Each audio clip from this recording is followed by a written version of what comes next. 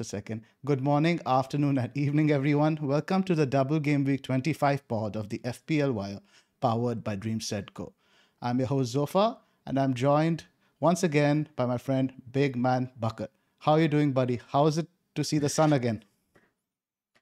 Oh, I mean, I'm not used to waking up this early. Actually, I'm still half asleep, but uh, it was nice. I mean, I, I went to sleep last night in a in a good, joyful mood. I had Jota captain. He saved my week. I otherwise I had you know a very poor week. I didn't have De Bruyne. Uh, didn't have Ramsdale as well, actually. So very grateful for Jota's points and uh, very slight uh, rank drop for me from like 22 to 23k. So I'll, I'll take that any any day of the week. How about you, Pranil? Oh, frustrating game week for me. Uh, I had, uh, I mean, a decent score. Got 63 minus 4. I got in Kane and Digne, both of whom didn't uh, perform. I actually joined the boys at above average FPL for a live stream. I was so hopeful with Foden, uh, Cancelo, Kane captain, Babies, and Digne, and none of them really performed. And I do actually want to talk about a little uh, lesson that is learned here in terms of honestly, you know, when you're playing this game and when you're playing your playing FPL, you know what your real instinct is. And I'm talking about experienced FPL players. We've been playing this game for a really long time.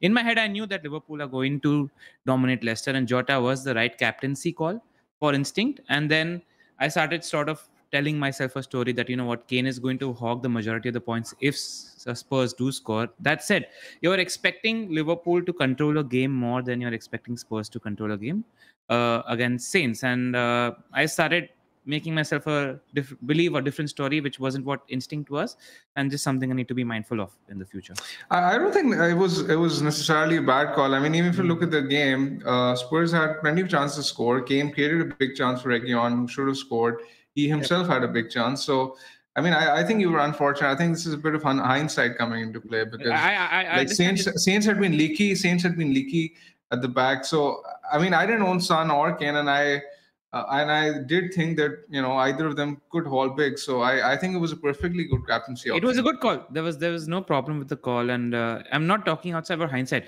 It's just as a manager, I knew where my instinct was, and I decided to move against it. And it's a fine line. There's a very thin line when it comes to close decisions like this. So just something I want to reiterate and reinforce to myself. That's all. Fair enough. Should we kick off? Yeah. how about your weeks off? Um, I don't know. Oh, yeah, 75 points, 50 points just last night. Ramsdale, Jota, and Trent. So up from 29 to 26. Big jump back was 52 the day before. So ups and downs. Yeah, I was in an exactly inverse position. I was sitting on 18k two game weeks ago, uh, down to 40k now. But uh, I think we're going to see lots of swings. It's all tight. And now the, the next three, four weeks, as we're going to talk about, I think are going to be potentially season defining. And let's start off first by talking about our sponsors. DreamSetGo is India's first sports travel and experiences platform offering a range of premium, end to end, authentic experiences across football, cricket, tennis, F1, rugby, and golf, among others. From matchday hospitality to VIP stadium tours, from private meet and greet, greet with athletes and legends to exclusive access to their training sessions, DreamSetGo curates the most fulfilling sports travel packages for fans like you. And all the stats that you see on our podcast are from the Fantasy Football Scout members area. Uh, we think it's really, really useful, especially for this uh, condensed fixture schedule that we have, where we have double game up on double game. If you aren't a member already, please click on the link in the description below. Become a member. I think it's well worth your money. Money. And uh, let's get right into it, Zof. Right. So, if you're watching this pod, you probably know already that there is a double game week this week for Manchester United and Brighton. News just dropped yesterday that Burnley are also going to have a double in 27. Leicester, who was supposed to blank, have a fixture now scheduled against Burnley in 27. So the Clarets will be the only side to have the double in 27, and now they have back to back doubles in 26. So does this change your strategy at all, Bakar? Your initial chip strategy? I, I don't think so, uh, to be honest, because uh, like I think more than more than this uh, news of the Burnley double coming up, I think Martinelli's red last night has kind of uh, put my my plans into jeopardy because I was all set on getting Martinelli and, and Saka. I don't own any Arsenal, and I thought that owning Ramsdale, uh, Martinelli, and Saka was the was the way to go going forward. But not so sure whether to triple up on Arsenal anymore. I'll definitely go with. Um, Ramsdale and Saka. Uh, whether or not I go for that third option, I'm not so sure. But I, I mean, I, it still might be uh, worth going for the third Arsenal player just because they have a possibility of doubling again in 28. Um, so as of now, I, I'm still leaning towards free hitting in, in 27, despite the fact that I have only one left. I think there's more upside to it um, than playing it in 30, uh, simply because I, I, I feel that um, playing, uh, navigating 26 and 27 without a free hit could be suboptimal. Right. So just to bring you guys up to speed, what you see over here on Lego Mane sticker, he's put the Arsenal doubles in 29, no, sorry, 28 and 29. We think it could be scheduled during that week. They could have back-to-back doubles, but Planet J, Planet F, sorry, what's the name? Yeah, Planet FPL James. James from Planet FPL. Yeah, I don't know how to brain fart. It's too early. so yeah, he thinks that Chelsea will likely have that double in 28. We don't know so far about the double in 29. So we do think that either 28 or 29 Arsenal are going to double. So that's what really is a big factor here. Pranil, does the Burnley thing, do you change your plans at all? Nope, uh, because they do have the quantity of games, and I'm uh, going to be ignoring them in game week 26 and probably just uh, get a player or two in game week 27 because the quality of the doubles isn't that strong. In uh, 26 they play brighton away and spurs at home and in 27 which is a much better looking double it's palace away and leicester at home. So uh, i'm going to be likely free hitting in 27 what really reinforced the free hit in 27 for me this week was uh, everton's performance against newcastle. They were horrible. Just the guys who are playing for everton at the back the names on their Sure, they're not good defenders, and I think City are going to absolutely obliterate them. And I want at least a double City attack in that game week, and that's the primary reason why I'm looking to double in 27. Completely agree. I can field 11 players, but a lot of them I don't think will be very good players. I'll have to feed the double Watford strikers away yeah. to United, stuff like that. So exactly. I think it's pretty much set in stone. And the Burnley news actually lets you get like Pope, Weghorst, stuff like that. There's upside yeah. there as well. I do I do want to I do want to mention though that this is just a case in which all three of us have teams which are suited to free hitting in game week 27 you know there are other people who've already used one free hit chip and have one pending etc as well. I don't think it's necessary to free hit in 27 i think you can get away without free hitting in 27 there might be better opportunities in the future. Uh, i mean the game week 30 uh, fixture schedule doesn't really look good on paper at the moment. But there is more to game in gain in terms of net points. So if you're sitting on zero, one, or two players in game week 30 at the moment, that's the week I would target to put my free hit play, play my free hit chip in because it depends on the composition of your team primarily, most mm-hmm. first and foremost. So I mean, it's yeah. not that we are advocating uh, a free hit in 27 as a pod. It's just what our teams are more suited for at the moment. Correct. Pranil, I, I have uh, like one free hit left, so I'm in a similar predicament to what what you're suggesting. But I have, uh, but I because I want to attack the um, the double in 26 and and then again possibly in 28 or 29. I'll I'll at least have three Arsenal players. I already have Digne, so I believe I, I have enough time to set myself um, up for game week 30 without free hitting. I am personally more um, undecided between free hit and 33 and, and 27 because I think 33 could be a good potentially be a good time to play it as well when the FA Cup semi-finalists play and some some of the lesser teams might uh, might be doubling. So that is something I have in mind. I mean, I like Zoff said, I I have enough to field you know eight or nine players, but then that would include you know King, Dennis, etc. So I'm not really sure how beneficial that would be. So I have to sort of weigh that up and like I, am not really sure which which way to go, whether to free hit in 27 or 23. As it stands, I think I'm gonna uh, you know lean towards free hitting in 27, just because the fact that I I'm kind of hoping that in the in the later stages of the FA Cup, the top teams uh, draw against each other and maybe some some get eliminated, and that makes it easier for me to navigate uh, 33. We jump into the fixtures, boys. Yep. Do, should we start? Let's have a look at the start with the preview rather than look back at the weekend. Let's start first. I want to dedicate more time to the obvious double teams, Manchester United and Brighton. Let's start off with Man United, Pranil. What's your take? What is the state of play there? Mm, I think uh, we've been unfortunate in the past two games, whether it was the Boro tie or the uh, league game as well. What's happened is actually we played really good football. I think as a team we're improving. I like the setup that uh, Ralf has uh, done with the team. Pogba coming back has been a huge difference because we do have more control in the games that we're playing in uh, at the moment. It's just that we are not able to sustain them and we're not able to finish our chances. It's ridiculous how we didn't finish our chances against Boro. We should have had at least six or seven goals in that game. It did my head. And uh, similarly, in the first half against Burnley as well, we had three or four good chances to close the game. It shouldn't have been how it was. Once we gave them an opening, game state changed the game, and then we weren't able to sustain any momentum in the last 30, 40 minutes. Uh, but my prediction is that Saints are going to be a tough opposition. Brighton are going to be a tough opposition, but it's the kind of opposition that United likes to play against. Uh, you know, these teams like to play their own football, and uh, we've got fast pacey wingers who are both slowly coming into form. Both Sancho and Rashford are improving by the game, especially in the last two or three weeks. So I think it should uh, suit us and uh, suit our attackers. And uh, I think if you own Bruno, hands down the best captaincy option from the United. But I think Ronaldo's stock has gone up as a captaincy option from last week to this week, especially because Cavani wasn't that good uh, against Burnley. He didn't have much of an impact. He did a lot of closing down, etc. as well, but he didn't have that much of an impact.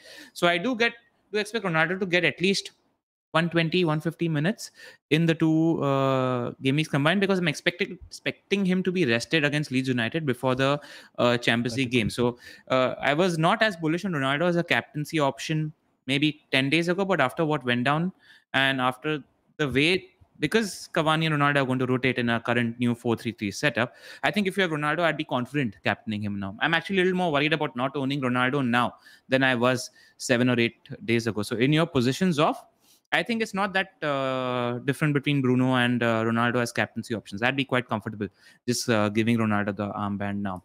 Uh, when it comes to uh, defense, uh, our defenders our defense isn't really good. But if you're looking for a punt, the punt that I'd recommend from our defense is Luke Shaw at the moment. Uh, I know Dalot is 4.5, etc., but Shaw is just a much more superior player. He's just much more involved in play. He's actually playing as a midfielder on that left hand side, and he's uh, making a lot of darting runs. In fact, Bruno, Sancho, and uh, Shaw, who are dictating play on that left hand side, they are responsible for creating a lot of chances. Most of the play that is coming, most of the attacking impetus that is coming for United is coming from that uh, left hand side where these three players are playing. So if you're looking for a punt in defense, Shaw is the one I'd recommend. And if you're looking for a punt in attack, what's happening is. Uh, since Rashford is playing on the right and not on the left, uh, Rashford is just making a lot more off the ball runs. And uh, I think uh, I mentioned this in the last pod as well. There's going to be a lot more scope for these off the ball runs against the kind of opposition that is Saints and Brighton, who like to keep a slightly higher line. So I do expect uh, Bruno and Pogba. Now there are two creative midfielders in our team, and Sancho's being fairly creative as well to play a few balls to Rashford behind the last line of defense. And I'm expecting, if you're looking for a exciting punt for the double, Rashford is somebody I'd recommend. Sancho's playing really well on the left hand side, but I don't think uh, he's got the role in his team is not as a finisher or as a uh, it's more of a creative role that he has. And if you're looking for a creative role i mean bruno is involved in absolutely everything. He was a little it's worth mentioning that he was a little deeper in the game against burnley than he was against boro. Boro he was pretty much second striker which wasn't the case uh, in burnley. That did come deep but everything that we're doing which is good is coming through bruno. Bruno has the license to put those through balls to take those uh, high risk uh, low percentage balls and give it behind. So bruno good option. Ronaldo if you own cap comfortable captaincy, punts are Shaw and Rashford coming from it. So before I come to you, Bakar, I just want to quickly go through the stats. Then we can discuss it further. This is for the last four matches for all Man United players. Bruno is top for expected goal involvement. He's created 16 chances, but what's interesting is he has taken only four shots inside the box in four matches. That's I don't really like that. It is XG is quite low. XG is only 0.9 across these four matches. And like you said, United's numbers are actually pretty good XG non penalty wise. They are third, 7.31, only behind Spurs and Liverpool. And Bruno's numbers in terms of chances created, they're actually the highest in the league. No midfielder has created more chances over this period. So, Bakar, now you have both Ronaldo and Bruno. Who are you looking to captain?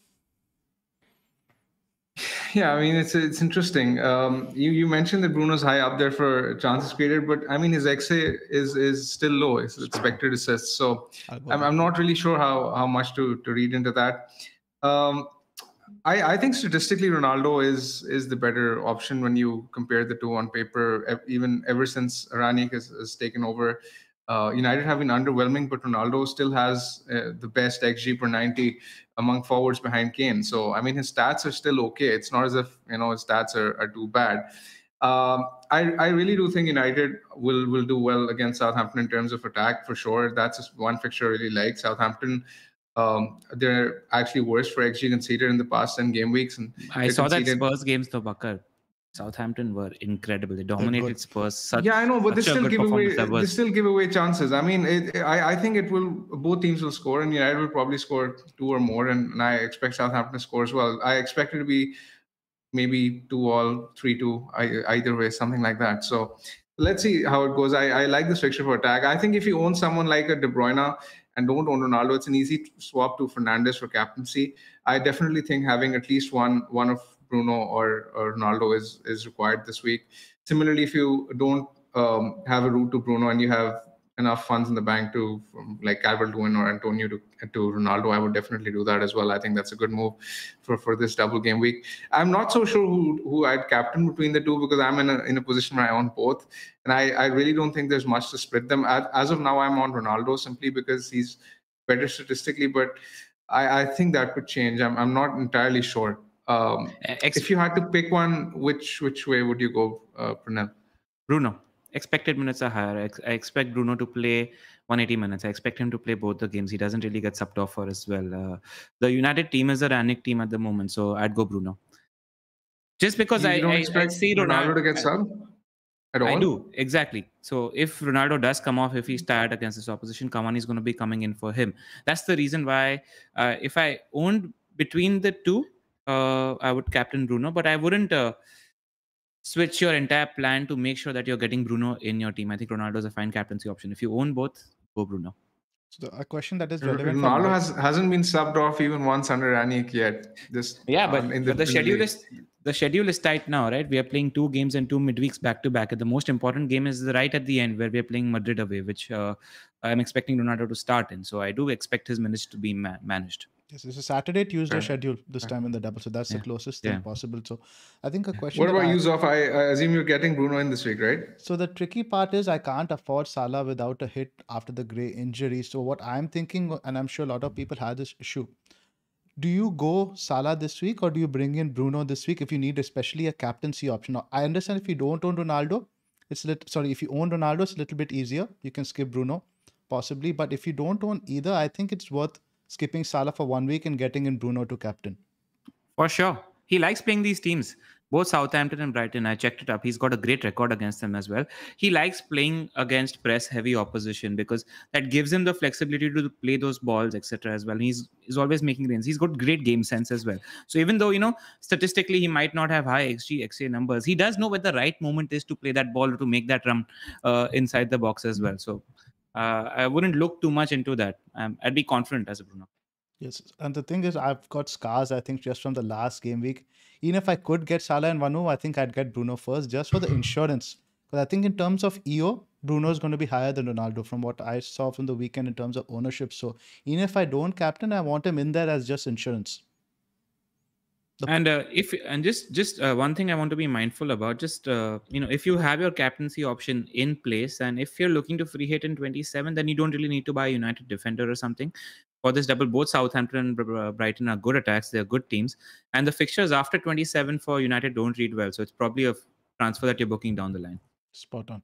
And if you're looking to free hit also then like by the time you can probably sell your united players free hit them in for watford etc etc you can plan accordingly Anything else to touch upon here? Let's. I think you already mentioned Sancho, Rashford. So who do your punt be if you have to go across, like you know, apart from the usual guys? Who's your punt? Sancho, Rashford, Rashford, Rashford for sure. Rashford.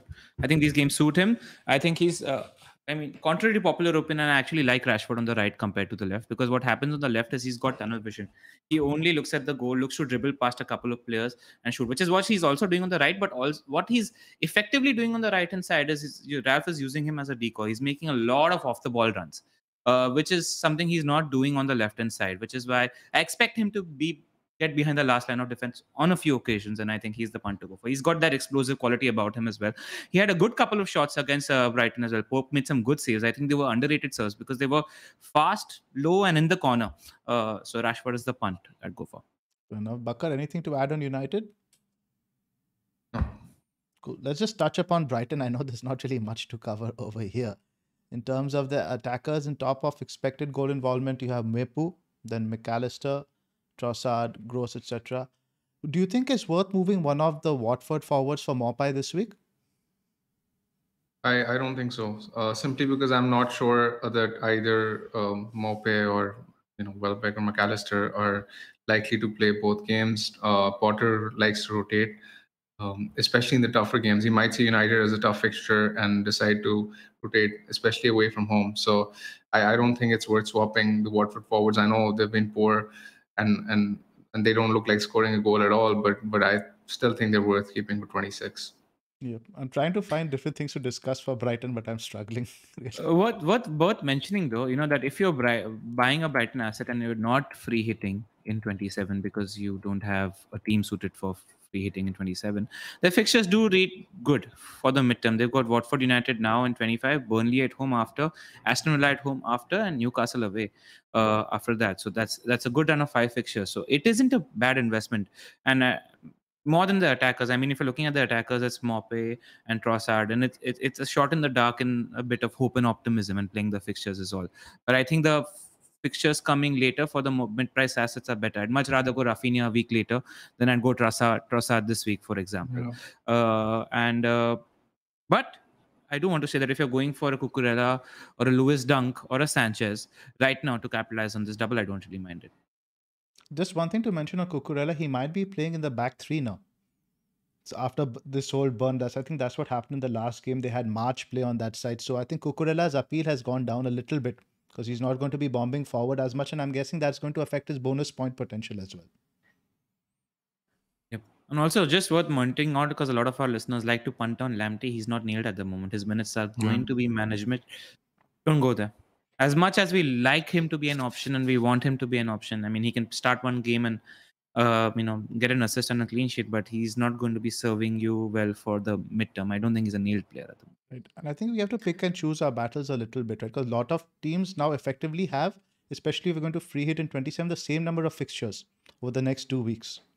So maybe if doesn't right. your player doesn't have a double this week, he has a double the next week. So take a longer term view rather than piling in on this double game week in particular.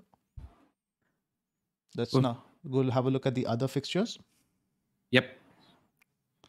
Newcastle, Everton. Bakar, anything to talk about here? Uh, just the fact that Newcastle are now looking much decent going forward with some of the new signings. Um, they had an XG of over 2.5. Uh, I I'm not sure whether it's it's down to the fact that Newcastle themselves are that good or Everton are that terrible, but but uh, the first thought in my mind is that uh, Lucas Digne's fixture this week uh, at uh, away to Villa, uh, away to Newcastle doesn't look as appealing as it looked a week ago. So I, I expect Newcastle to score in that fixture. As the second uh, implication I see from this is the fact that Everton are looking really poor and they're a fixture to target for when they play Man City, especially in in game week 27. I think that's a fixture where um, where the City boys could go big. Spot yeah, Zoff and me were discussing, and the joke that we made is when uh, Lampard meets Michael Keane, it's uh, just a lot of fun for the opposition. They're going to concede from every set piece. Even at Chelsea, yeah. set piece defending was a nightmare. So let's yeah. let's move on swiftly. Anything no, no, this just I think yeah, just worth touching on that the fact that they're going to concede a few goals, which they are, might be good for their attackers uh, you know, which is why DCL and whoever turns out, good morning, Bakar, uh, DCL and whoever else. Uh, I'm sure this is the first time it will happen. An attack. I think there'll be good options eventually when the fixtures play out in favor of Everton. I wouldn't mind going for the attackers because uh, Zoff, he does get something out of them.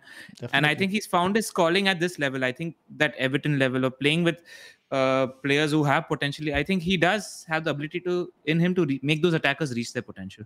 Completely agree. Spot on. Yeah. Mm. A lot of managers have Demarai Gray. What what would you do in, in, in their position? I mean, he's injured. You sell, right? I mean, yes, but I I mean, there's also a case of holding him for one week and maybe deferring the transfer to Saka yeah. for another week. Yeah, that's what I'd do.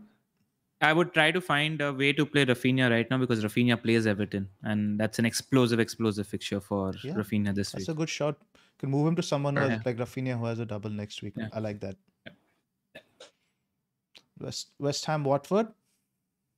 both sides were. I saw this game in entirely. The both sides were abysmal. What Watford offered something. I thought they were definitely improved. They look a completely unrecognizable side from what we saw two to three game weeks ago. They're very organized. He played a flat four in midfield, flat back four, very defensive. But I think in the next few games, now with teams around them picking up points, they have to go a bit more attacking Watford. The next games in Brighton. I don't not minding owning the strikers for the double in particular. I don't think they're that bad. Yeah, similarly, as a Foster owner, I'm quite happy to own him now because uh, Voy being Voy has void up Watford. And uh, uh, I think our perception in terms of how we look at Watford in terms of our attackers against them, I think the attraction has gone down maybe about 10%, or because what Hodgson does know how to organize a team, Hodgson does know how to set them up to defend. And we're already seeing that happening at Watford.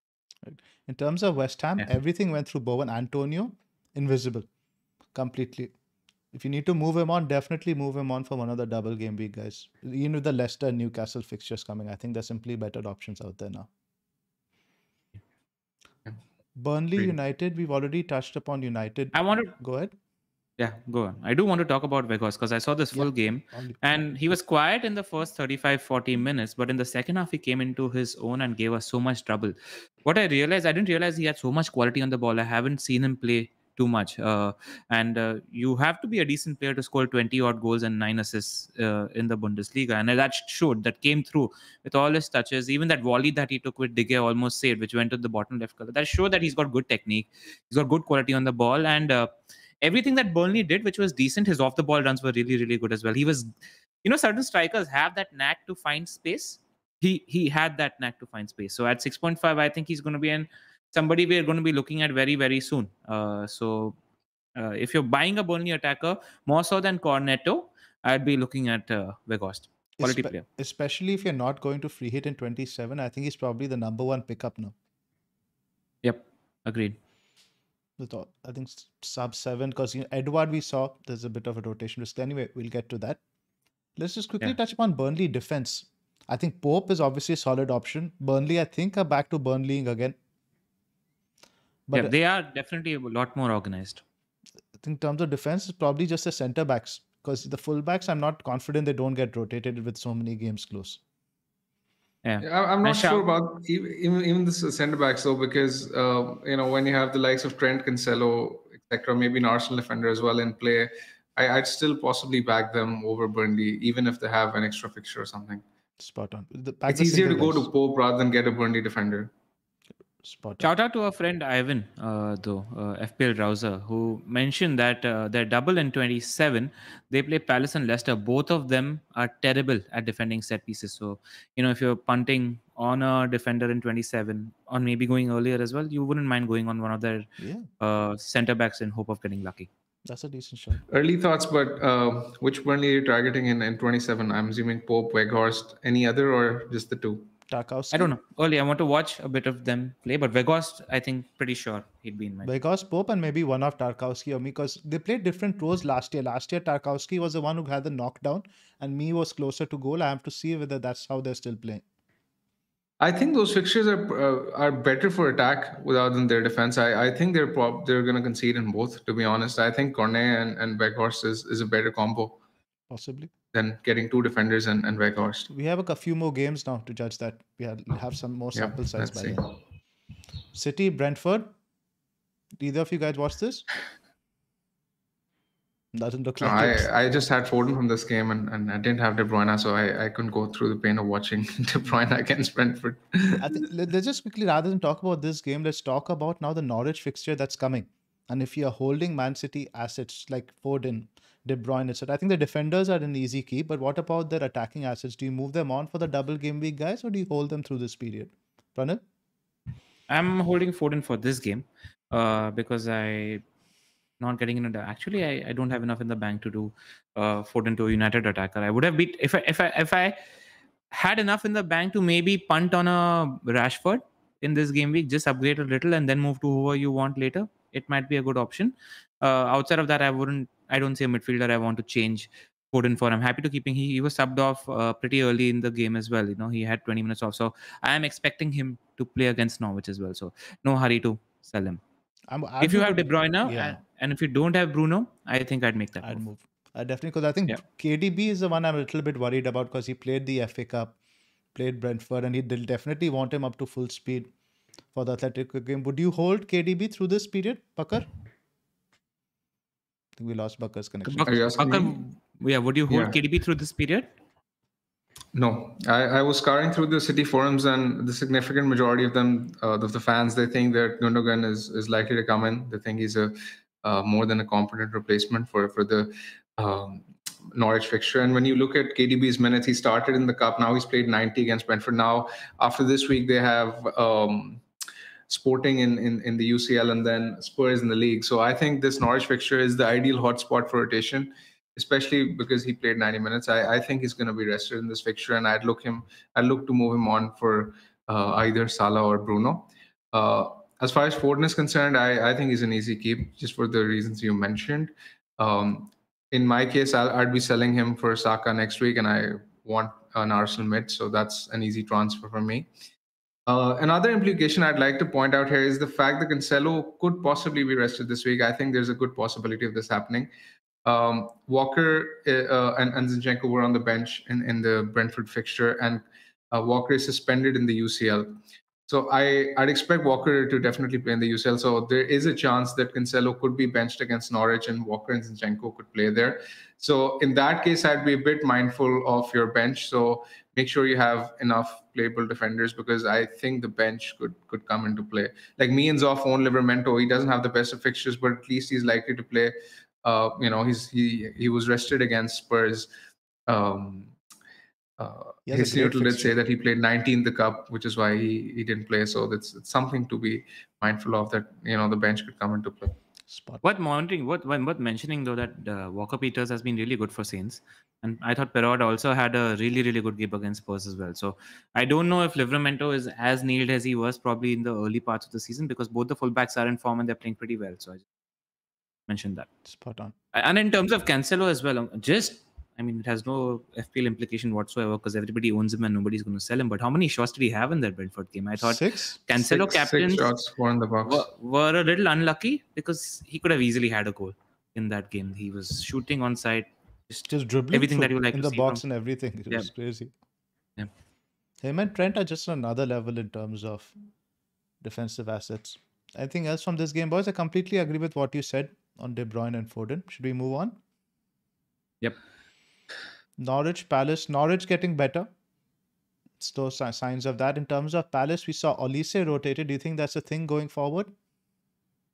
Not Olise, sorry. I'm out of it this morning. Edouard. Edouard. Edouard, Edouard. Edouard getting rotated. No, I think uh, what will also impact was the result against Norwich as well. I think the the fact that they had a one all draw uh, works in uh, Edouard's favor. So if you do own him already, I don't think you cut your losses immediately. You hold him, play him through through the double, and hope to get lucky. Because what's happening with Vieira is, is that it's a horses for courses approach, and he's got so many options in attack at the moment. That's why there's a bit of rotation, and he plays as per opposition. Uh, but uh, if you already own Edouard, uh, I wouldn't rush to sell. him. Anything to add here, Bakar?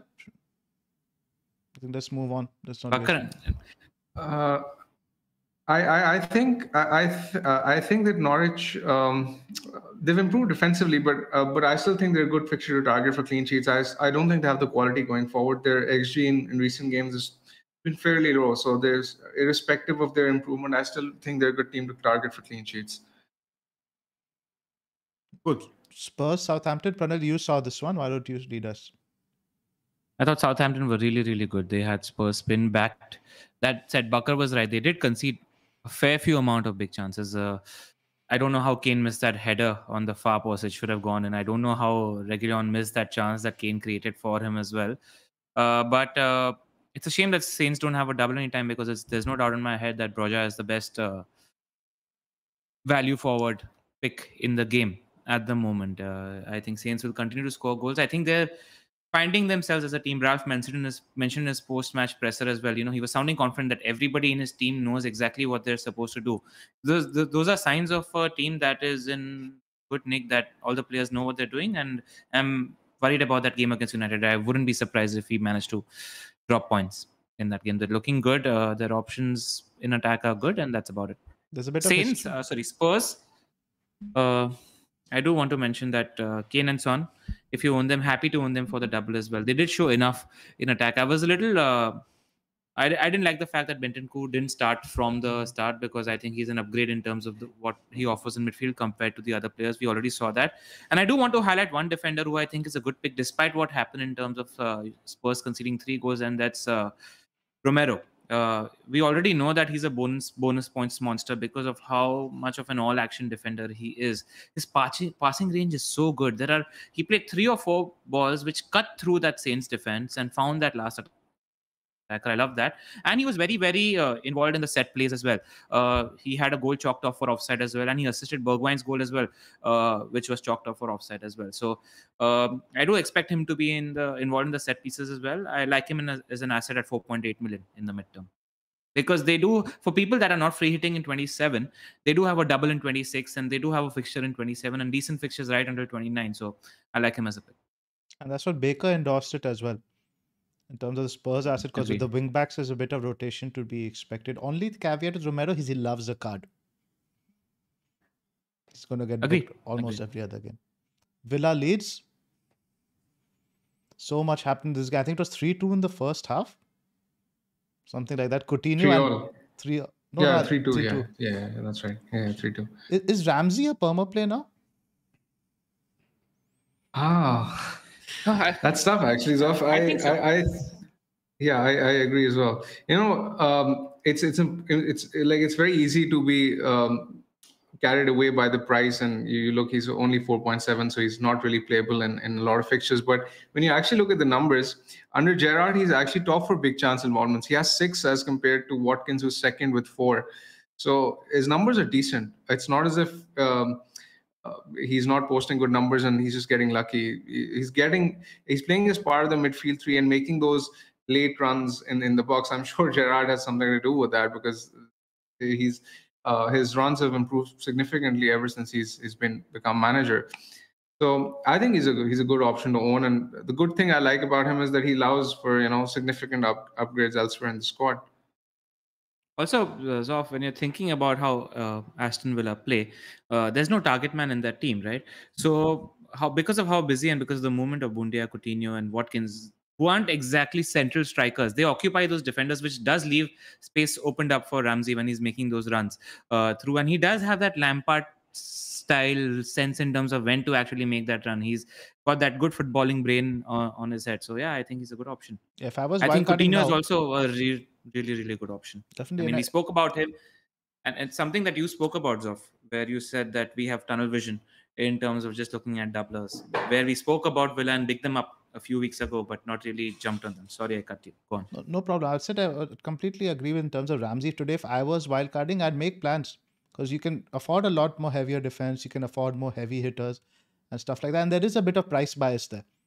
If you were same thing, six million, I think we'd be a lot more confident buying him just because he's been underpriced and he's a breakthrough player like Kane in his debut season. I was very late on Kane for that very reason because it was looked at him like maybe just like you know this is a budget guy, he can't sustain it, etc. etc. So Yeah. Leeds. I want to talk Also, about. what- Go ahead. Yeah, Leeds. How, how how did Danny James find that finish? That first goal was so good and so well taken. Where did that come from? Where was It's that at United? I have no idea. Yes, exactly what I wanted to talk about, and I think he's gone a bit under the radar, right? He's been playing out of position. Bamford is the Pokemon that never evolves. His fitness is permanently just evolving. So I really hmm. think James now he the number of big chances he's getting at the spirit of that attack. I was just having a look at this price this morning when I saw that Martinelli is injured. Is just out of my budget, but I think at six million he's not a bad replacement for the likes of Gray and stuff. I've seen him a lot at United, and his best job is that he occupies defenders, which leaves space for others. I I don't know how he pulled that finish out of his locker, uh, and uh, bless him, he's a good attacker in terms of what he does for the team, but I just don't rate his finishing ability. Yeah, but just at the spearhead of the Leeds attack, right? No matter who you put over Yeah. there, even if you put Bendtner, prime Bendtner there, he would be scoring 20 goals a season there, I think. Yeah, I just think it'd be too frustrating because they're eventually going to own Raphinha as well, and he's the reason Raphinha isn't as good a pick as he should be because he's creating tons for him and he's not finishing any of them. So Spot on. Bakar, anything to add? No. I do want to mention that uh, Leeds are back to Leeds of last year. Yep. Their attack is as good, and their defense is still there for the taking.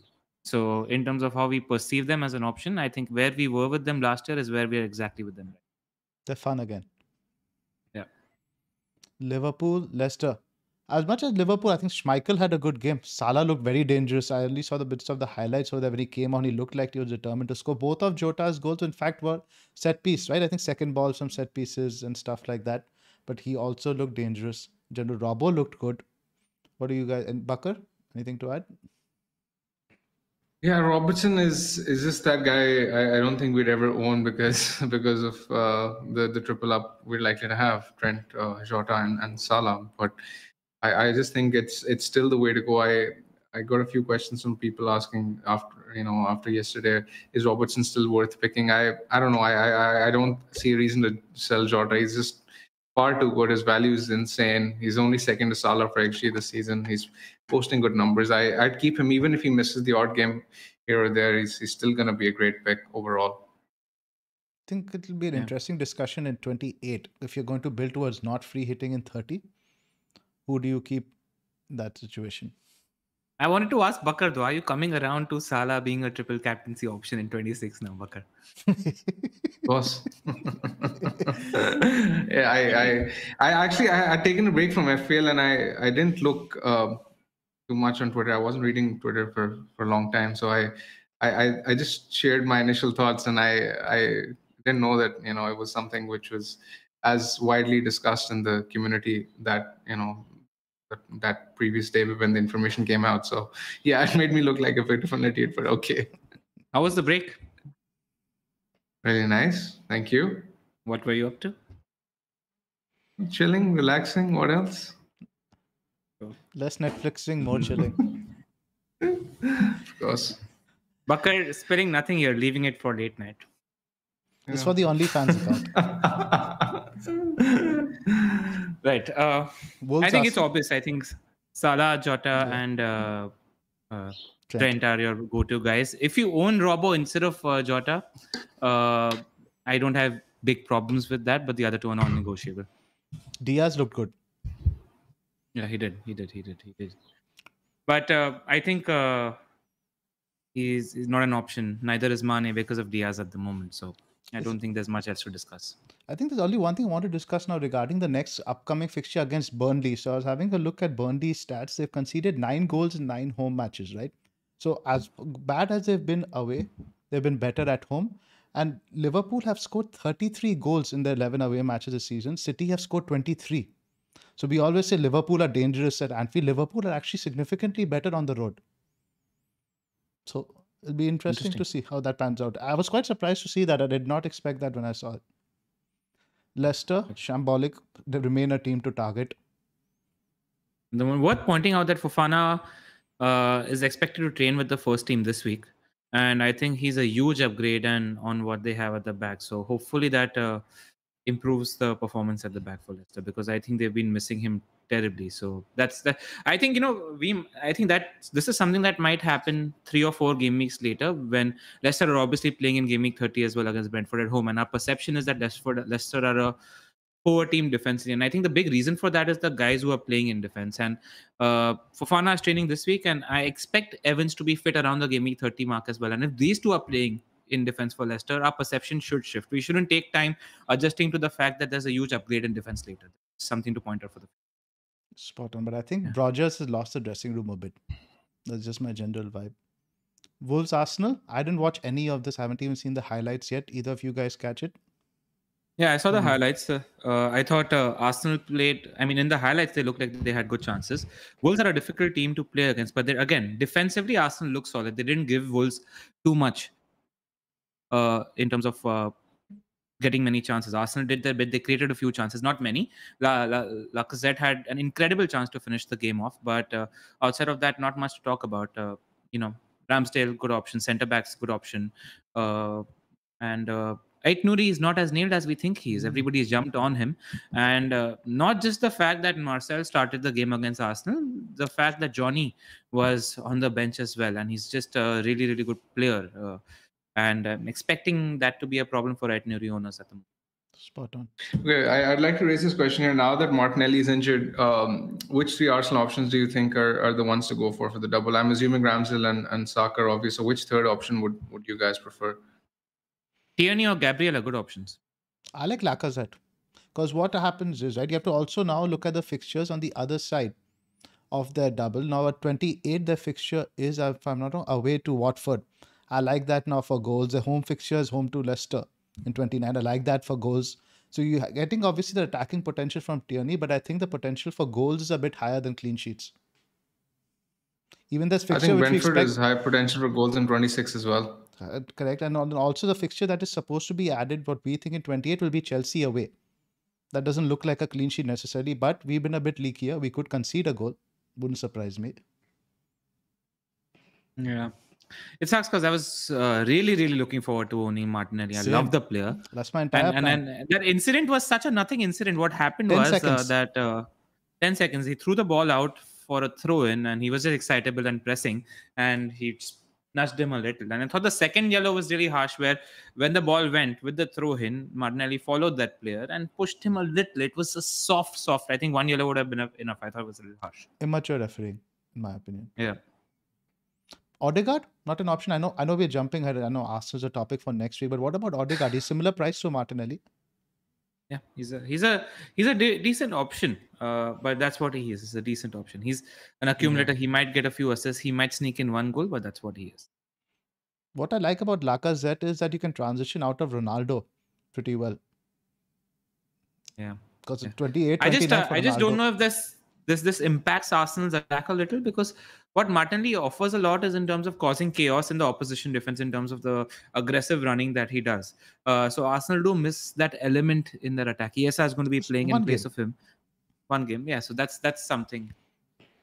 Right. I think that's anything else to yeah. discuss this week, boys. We can talk about our captains and just touch upon the fixtures. I, I think week. Gabriel is again worth reiterating again because I just remember that one of the double gamings is against Brentford, who have their own problems in terms of defending set pieces as well. And Gabriel's an absolute set piece monster. So just thought I'd point that out. Definitely. Right. In terms of captaincy and fixtures for next week, I think let's just touch upon United. Let's go on to Bakar, your captain. Uh, one of Bruno or Ronaldo. I'll, I'll you can't sit on the fence. Sure. Pick one. Pick one. Where are you leaning? I, will probably. Uh, well, I, I um, I think I'll go with Bruno eventually. I think I'll go with Bruno eventually because I, I think I'm a because when I look at it, I, I really don't think there's much in it, and because I'm owning both, I think I can just go with Bruno and and, and protect my ER. I know it's not your way, Riser, but like I, I just think it's it's it's the smart thing to do because I expect Ronaldo's effective ownership to be below 100 anyways. So Pranil, you've already mentioned yeah. Bruno earlier. Sticking with that. Yeah, yeah. I'm a little jealous of you Ronaldo owners this week though. I like to I hear think, that. Uh, that that sort of pushes me yeah. towards Ronaldo. What do you make of the strop he threw at the end of Burnley? Like he stormed off of the tunnel again. Do you think that affects anything? No, he's just an emotional guy on the pitch. He's uh, throwing tantrums all the time. Nothing that we haven't seen in the past few years. Yeah, fair enough. Because yeah. I, I I'm currently on Bruno as well. I'll probably be bringing him in this week. Because I don't know Ronaldo, even though he's been getting the shot volume, the quality of shots isn't there, and he just doesn't seem yeah. on it. He's not the same player. He's not the same player. Bruno's a superior player as the state of play is. I'm more confident about him uh, converting chances at a more efficient rate than Ronaldo at the moment. Uh, there was an excellent stat that I read since the last few six or seven weeks. Ronaldo's had some 36 shots and he scored one goal from them. And that's what we've seen on the pitch as well. He's just not an efficient striker at the moment. If you own both, there's no doubt in my head. If you can go to one, there's no doubt in my head that Bruno is the uh, attacker to get. That's all. And I actually really fancy Rashford as a pun this week. I like Rashford these, particularly. This, because, yeah. like you said, the, these are yeah. teams you can get behind, right? Because I do think Salisu and Dunk, they can both do a job on Ronaldo in terms of keeping him isolated. But both these teams are a bit prone to the runners from midfield and also the counter attacks from the wings. So I, th- I think you've, you've gone to something there. Cool. Let's move cool. on to our teams. Let's do that really quick, yes. and then we can do a short Q, short Q and if you guys have time. Pranil, this is your team. Yeah, can you just uh, okay? So I'll read it out for the listeners. I have uh, Ramsdale as my keeper. In defense, I have Trent, Cancelo, Ben Davies, and Digne. In midfield, I have Bruno, Jota, Foden, and Bowen. Up front, I have Kane and DCL. Uh, I'm looking to probably save this week. Uh, that said, I do have a wedding which is long, and there could be some, um, you know, induced decision making uh, later in the night if I uh, tend to get creative. But at the moment, I'm looking to save. The problem that I see in my team, the the We are just dropped out Cool. for a couple of minutes. Cool. I think so. You mentioned your team again. You want to do that? yeah we're back we're back on the stream it's all good to go uh, i've mentioned my stream i'm looking to uh, save that transfer and uh, the problem that i see in my uh, team in the future is uh, ben davies and i really want to convert ben davies into eric uh, into romero uh, and uh, i don't i have exact money for salah uh, foden and davies to romero bruno sorry bruno foden and uh, davies to Salah, Raphinha, and Romero at the moment with no wiggle room. But I think Salah is going to be rising in price very soon, so I won't There's be able definitely price changes happening there. Yeah, yeah. So I'll see. We'll see. At the moment, I'm looking to save and then look at things next week. Right. This is my team. I've got De Gea in goal, Digne, Cancelo, Trent in defense, Jota, Bowen, Gray, and Trossard in midfield, Dennis, King, Ronaldo captain currently on the bench, Ramsdale, Saka, Livramento, and James. So I've got 7 million in the bank. I can't really grow Gray to Salah directly, so that's not an option. I'll likely be going Gray to Bruno. And then next week, I'm finally going to be taking a hit to bring in Salah by downgrading most likely Ronaldo to Lacazette. The plan was to go Trossard to Martinelli or Odegaard. I could still do that, but I think there's more upside in getting rid of Ronaldo for 28, 29, etc. How much uh, cash do you have in the bank, Zoff, once you make uh, Gray to Bruno? Um, 11.7, 0.8. I'm just wondering if I see a move for one of your Watford strikers or anything, but It's fine. I- I'd be tempted, not tempted to uh, do James to Romero and then bench one of the Watford strikers. No, I want to keep James now. I think having held him for so long, I think he's going to be back, if not for 26, at least for 28 when we Chelsea's just- good run starts. Yes. okay, fair enough, fair enough. I I mean, you're already stuck on that, and it's your instinct, so I don't want to talk to you. The only thing that might tempt me next week is Tierney for James, but then that's sort of again cancelling out the double game week for 28 and stuff onwards. You uh, because uh, if you're not comfortable playing both Watford strikers, I think there is potential in uh, James to Romero and getting three games in the next two game weeks instead of zero from a James point of view. enough. Just something worth thinking. of. Yeah, Romero, I know we discussed this earlier also. I just can't go for a defender that doesn't have that attacking upside. He does have attacking. I know, I saw what though. you're talking about, the- the set Yeah. piece thread, but Yeah. Digne, like Digne also, for example, he blanked, right? But he had two good chances to to the couple of Yeah. crosses he played, taking set pieces. In terms of attack, he offered a bit. I think Romero offers a lot though, because I think at 4.8, the bonus punch potential plus the set piece potential, plus the fact that he's got a good through ball on him, I think they add up. That's all. Just Fair shot. Yeah. Something I, I think think if you're looking at a Spurs defender, Reguilon is by far the the player to get because I think he was very very unlucky even uh, against Southampton not to get any attacking returns. Had a big chance, created a big chance, didn't get any returns, and I, think there's a big haul coming from Reguilon very soon. I know he could be rotated with the threat of you know Sessegnon from the bench, but um, but I, I I think he's gonna deliver in in most fixtures when when he starts because he's playing for a solid defense and he has great attacking numbers. This is something uh, Bakar Baker has pointed out to us on a few occasions where he said that yes, Reguilon will get those chances and he will be in the attack, but he is absolutely not capable of converting these chances. And he's mentioned this to us like a long, long time ago, where he's just not a good finisher. Uh, where he sent uh, sent us screenshots from FBref where he's saying that he's in the top tertile for when when it comes to defenders getting those attacking chances, but he's bottom of the ladder when it comes to conversion rate. So just thought that's what He just, at least he's getting the volume. He's going to con- convert one, you know, one out of three, four, some Yeah. something like that. But at least he's creating chances as well. That's that's Yeah. something which is encouraging. So, Yeah. I mean, if he creates those kind of chances for Kane, then then Yeah. I, I think he's going to get uh, points um, Yeah. sooner rather than later. The one I'd really be excited excited about is Doherty, and after Royal's performance against Saints, I thought he was uh, susceptible to defensive mistakes on more than a few occasions in that game. He wasn't really good, and Doherty has done well in a in a couple of games before this one. So I wonder that could be the exciting punt. Bakar, your team up. Uh, I, I have to here in goal Trent, Digne, Cancelo, Foden, Jota, Fernandes, Bowen, Ronaldo, uh, King, Dennis. On the bench, I have Foster, Brown, Brownhill, Livramento, James. I don't think there's any reason to make a transfer. I'll, I'll save a transfer this week to set myself up for possibly three or four transfers next week where I don't have any Arsenal, I don't have Salah. Fernandes will go for Salah next week, and I'll buy uh, double or triple Arsenal, I think.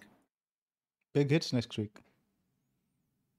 Cool. Let's move on. Do you guys have time to do a Q&A or no, You no, jet? I think we'll need to. Yeah, we, I'll need to jet. So cool. if, if you guys want to continue the Q&A, I mean, feel free to. I'll just drop off right now. If Bakar, okay. do you have a few minutes? I, I don't mind. I, I, don't hear right. off. I, I think let's end it. Cool. Let's end it then. No, sorry guys, no Alright. Q&A this time. Yeah. I, Have you I lost think it's nice that we keep it short also today. So, all right, good luck, guys, and we'll see you next week. Uh, probably Tuesday or Wednesday. We'll be in touch. Uh, look out for our socials. Make sure you're hitting like and subscribe. We're at seventeen thousand subscribers now, Sure. boys. So congratulations on that, and see you next week. See you next week. All right, boys. See you next week. Good luck.